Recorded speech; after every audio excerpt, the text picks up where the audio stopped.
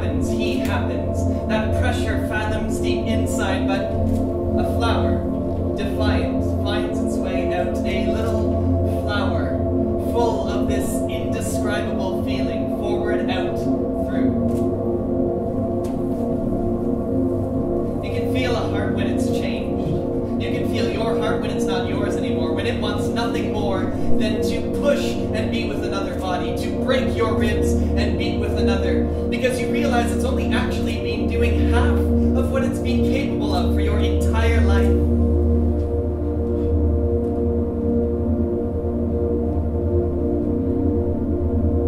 As I think on it now, it seems completely right.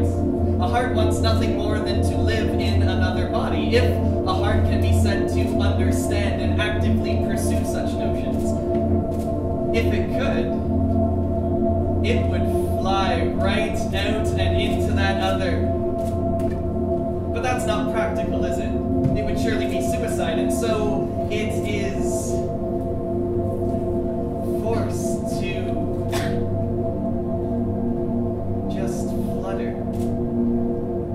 To dance in the air between bodies, generating a force bursting from your chest.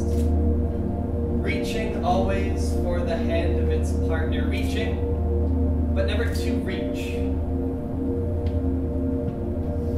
That is a heart changed. That is a heart lost, but a purpose found.